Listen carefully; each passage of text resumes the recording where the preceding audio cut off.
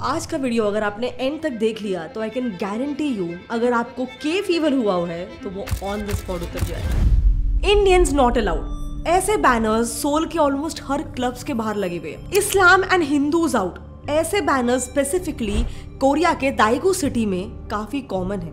Oh my God ये क्या है? इस्लाम आउट हिंदू भी लिखा है इसमें। अब ऑफ़ कोर्स सोल के कुछ क्लब्स या फिर बाकी सिटीज़ में ऐसे बैनर्स ना भी हो, फिर भी ये कोरिया की ग्राउंड रियलिटी है। अब मैं आपको एक सिचुएशन बताती हूँ। सोचो अगर आप कपड़े खरीदने जाते हो और दुकान में जाते ही जैसे ही आप कपड़े को छूते हो, तभी ही वो दुकानदार तुरंत उठ के अपने कपड़ों को साफ़ करने लग जाता है। आपको कैसा लगेगा?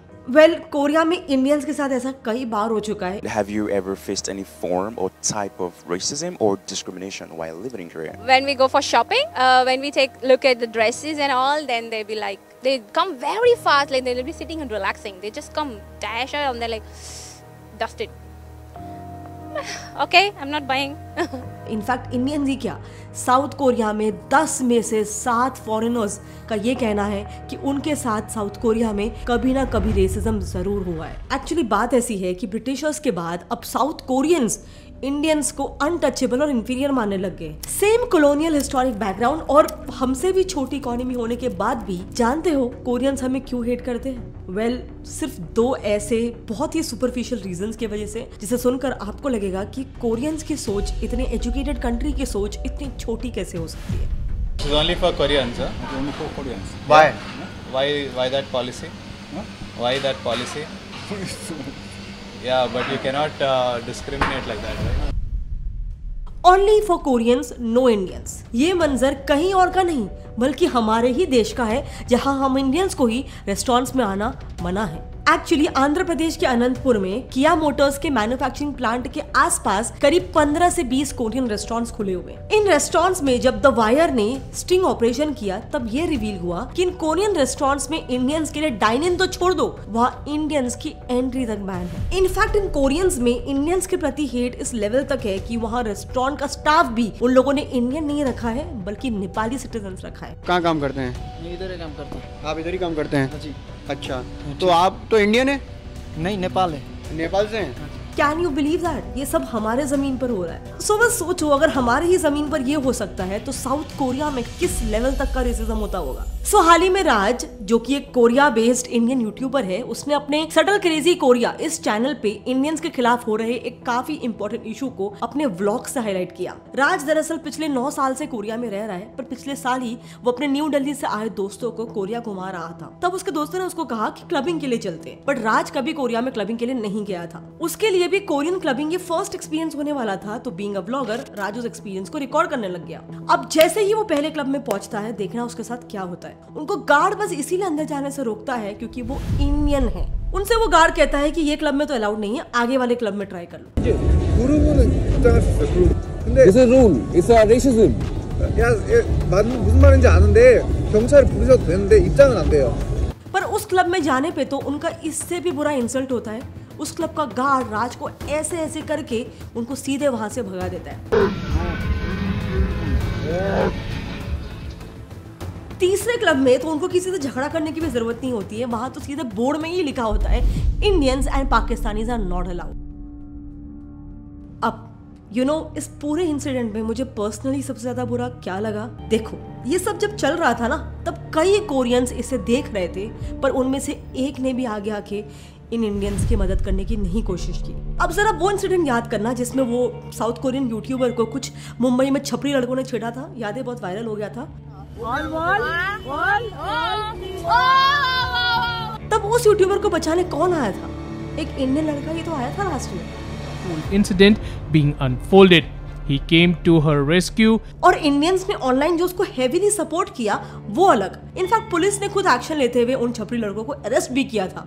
बिल्कुल जैसे उस लड़की ने किया, राज ने भी उस इंसिडेंट का ब्लॉग निकालकर उसे यूट्यूब पे अपलोड किया था। लेकिन इस इंसिडेंट में कोरियन एडमिनिस्ट्रेशन से किसी ने भी इसे नोटिस नहीं किया। सो so, क्या हम ये मान ले कि उनके हिसाब से हमारी कोई वैल्यू नहीं है? नाउ आई नो आप बोलोगे कि सिर्फ़ एक छोटे से इंसिडेंट से दो तीन इंसिडेंट से ये पूरा ओपिनियन फॉर्म नहीं कर सकते हैं। तो मेरी बात छोड़ो जरा आप खुद ही यूट्यूब पे कोरिया हेट्स इंडियंस ये कीवर्ड टाइप करके देख लो। आपको बहुत सारे ऐसे वीडियोस मिल जाएँगे जहाँ पर वो अपनी रेसिज्म की स्टोरीज ओपनली शेयर कर रहे हैं। उन्हीं वीडियोस में से जब मैं खुद गो कर रही थी तब एक कोरियन चैनल बिबिम कोरिया के पॉडकास्ट में इस इंडियन लड़की ने अपना एक काफ़ी इनह्यूमन एक्सपीरियंस शेयर किया था। उसने बताया कि जब भी वो कोरिया के पब्लिक प्लेसेस पे किसी सीट पे बैठने जाती थी, तब उस सीट पे उसके बैठते ही बाकी कोरियंस उठकर चले जाते थे जैसे कि वो कोई so called untouchable have you ever experienced racism in Korea in case I get on subway I sit somewhere person besides me will get up and go sit somewhere and ये कोई इक्का दुक्का केस नहीं है। उसका कहना था ये एक्सपीरियंस इतना कॉमन है कि अब तो उसको उसकी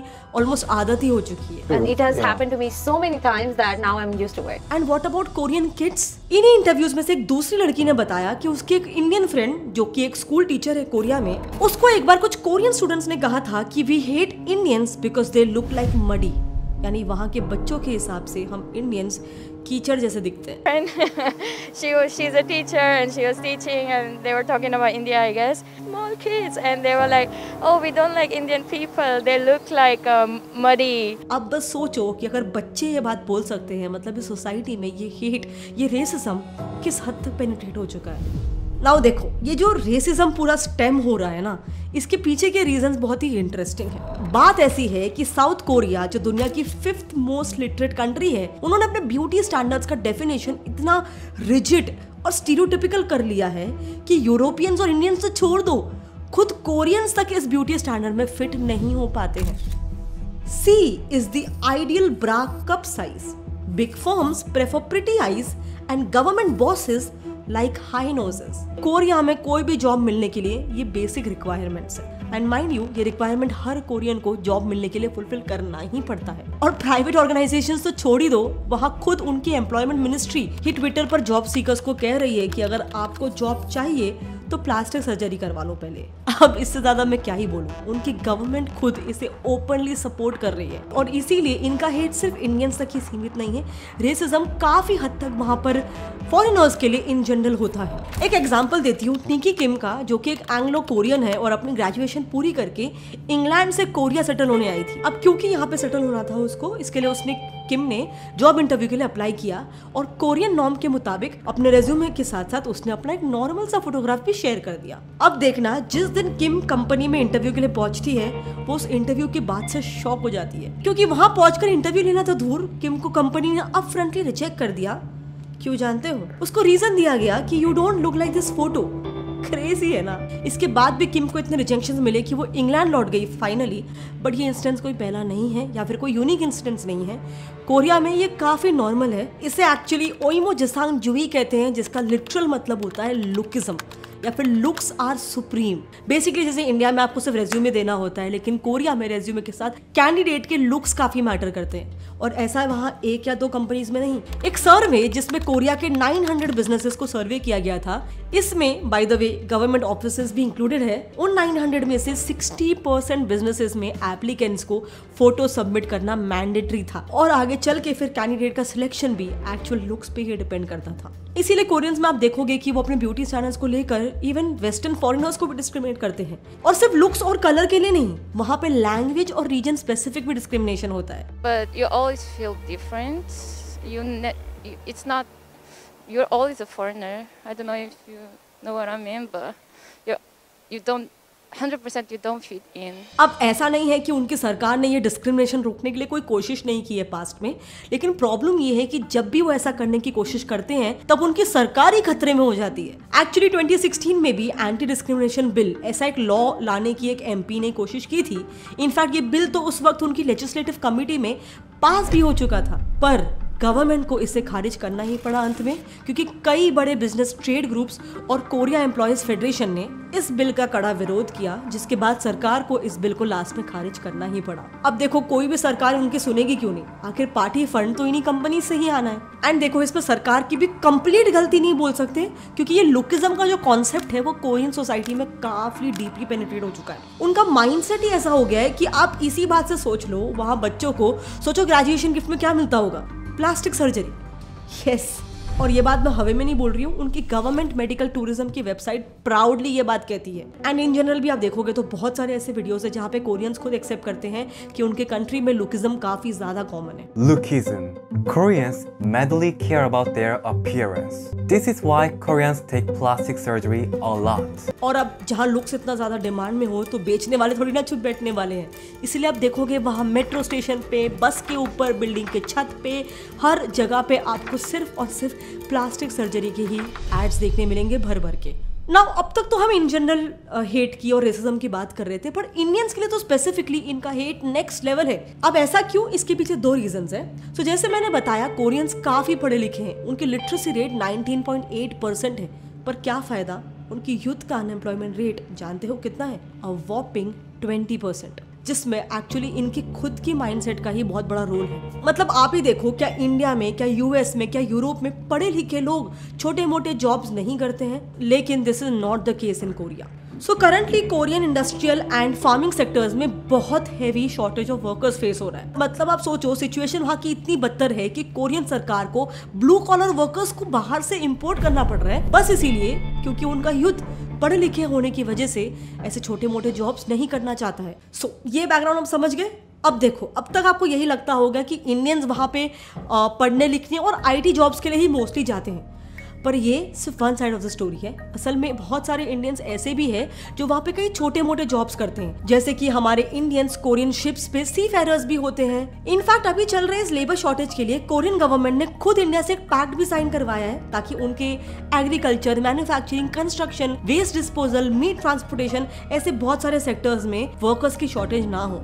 अब देखो, यहाँ रेसिज्म अगेंस्ट इंडिया एकदम ज़्यादा इसीलिए है क्योंकि कोरियंस का मेंटालिटी ये है कि इंडियंस हमारे यहाँ पे छोटी मोटी जॉब्स करते हैं। इसके अलावा दूसरा रीजन तो इनके यहाँ पे रेसिज्म बहुत कॉमन है ही। लेकिन skin colour white skin colour से जो उनका फेटिश है, वो बहुत ज़्यादा कॉमन है। लेकिन हम इंडियंस का कलर वीटिश होता है। इसीलिए ये भी एक बहुत इंपॉर्टेंट रीजन बन जाता है कि इतना ज़्यादा रेसिज्म इंडियंस के खिलाफ वहाँ पे होता है। और ऐसा मैं नहीं खुद कोरियंस ने ही कहा है। दरअसल Korea Institute for International Economic Policy ने पूरे कोरिया में एक इंटरेस्टिंग सर्वे किया था, जिसमें ही कई कोरियंस ने ये ओपनली एक्सेप्ट किया था कि हम इंडियंस को अनसेफ अंडर डेवलप्ड और ओल्ड फ़ैशन समझते हैं। एक्चुअली देखो रूट प्रॉब्लम पता है क्या है? इनकी भी इसमें उतनी गलती नहीं है ऐसा कह सकते हैं। ज़्यादा मेजर गलती है इंफॉर्मेशन गैप की। एक्चुअली ये कोरियंस हम इंडियंस के बारे में कुछ जानते ही नहीं है। देखो, आज कोरिया में सिर्फ़ बारह हज़ार इंडियंस ही रहते हैं और टूरिस्ट भी करीब वहाँ पर हर साल एक लाख लोग ही जाते हैं। तो ऐसे में बाकी लोगों से इंडियन कल्चर के बारे में उन्हें बहुत ही कम पता चलता है। और रही बात इंडियन गवर्नमेंट की तो हमारे देश और कोरिया में ऑफिशियल डिप्लोमेटिक टाइज भी काफ़ी कंपेरेटिवली लेट 1973 के आसपास ही हुए थे यानी करीब आज़ादी के 30 साल बाद। इनफैक्ट इससे पहले तो उनके प्राइम मिनिस्टर हमारे देश को दुश्मन देश समझते थे। उन्हें लगता था कि हम एक कम्युनिस्ट आइडियोलॉजी को सपोर्ट करने वाले देश है क्योंकि हम रशिया के एलाई थे और साउथ कोरिया यूएस का एलाई था जो कि एक कैपिटलिस्ट कंट्री था। सो so, मैं आपको बस दोनों साइड का पर्सपेक्टिव बताने की कोशिश कर रही हूँ। एंड ये वीडियो बनाने का मेरा बिल्कुल भी ये कहने का मतलब नहीं है की कोरियंस को अभी से हमको हेट करना शुरू कर देना चाहिए और उनके के कल्चर को के पॉप को के ड्रामा को बॉयकॉट कर देना चाहिए। ऐसा मैं बिल्कुल भी नहीं कह रही हूँ। इनफैक्ट हमारा तो कल्चर ही अतिथि देव भव का है। मैं बस ये कह रही हूँ कि इट्स हाई टाइम कि हम इंडियन ये समझ जाए कि हाँ दूसरे देशों की रिस्पेक्ट करना, उनके कल्चर को फॉलो करना, उनसे अच्छे एस्पेक्ट्स उठाना, ये बिल्कुल अच्छी बात है। लेकिन एक दूसरे देश की इज़्ज़त करते वक्त हमें अपनी रिस्पेक्ट नहीं खोनी है। मुझे एक्चुअली काफ़ी सारे ऐसे रैंडम वीडियोस मिले जहाँ पे लोग अपना पर्सनल ओपिनियन शेयर कर रहे थे। जब मैंने और देखना शुरू किया तो मुझे मालूम पड़ा यस एक्चुअली काफ़ी सारे साउथ कोरियंस इंडियंस को हेट करते हैं। उनके खिलाफ उनके मन में बहुत ज़्यादा रेसिज्म है। तो मैं बस आपको ये एक ऑल्टरनेट पर्सपेक्टिव देना चाहती थी कि नो डाउट अगर आपको के ड्रामा देखना आपको पसंद है, ज़रूर देखिए। लेकिन इतना ज़रूर याद रखिए कि this should not be at the cost of your self respect or self respect and again ये मेरा ओपिनियन है to each to its own आपका क्या ओपिनियन इस बात में? क्या आपके हिसाब से हमें इस इशू के ऊपर के पॉप या के ड्रामा को बॉयकॉट करना शुरू कर देना चाहिए? क्या आपके हिसाब से हमें ऐसा नहीं करना चाहिए? आपके जो भी ओपिनियन है मेरे नीचे कॉमेंट सेक्शन में शेयर करना। बट इतना ज़रूर मैं जानती हूँ कि काफ़ी कम लोग इसके बारे में जानते हैं। तो प्लीज़ जितना हो सके इस वीडियो के थ्रू हमें अवेयरनेस रेज करना है। अपने फ्रेंड्स अपने फैमिली जिनको भी बीटीएस पसंद है, जिनको भी के ड्रामा के पॉप पसंद है, उनसे ज़रूर शेयर करना। वैसे अगर आपको ऐसे सोशल इश्यूज़ पे वीडियोस देखना पसंद है तो क्या आप जानते हो, हाल ही में इंडियन स्टूडेंट्स ने कैनेडा को बॉयकॉट करना शुरू कर दिया है? यस और इसे देखकर कैनेडियन गवर्नमेंट जो पहले आउटराइट थी खालिस्तान इशू पे इंडिया के अगेंस्ट थी, वही कैनेडियन गवर्नमेंट ने ऑलमोस्ट इंडिया के सामने घुटने टेक दिए। एंड वो कौन से रीजन है जिस वजह से इंडियन स्टूडेंट्स कैनेडा जैसे देश को बॉयकॉट कर रहे हैं? बहुत इंटरेस्टिंग रीजन है। कुछ स्कैम्स का एंगल है जो कैनेडियन गवर्नमेंट स्टूडेंट्स के साथ कर रही है। अगर आप वो देखना चाहते हो तो हमने इस वीडियो में डिटेल में कवर कर लिया है। आप यहाँ पे क्लिक करके उसे देख सकते हैं। जय हिंद।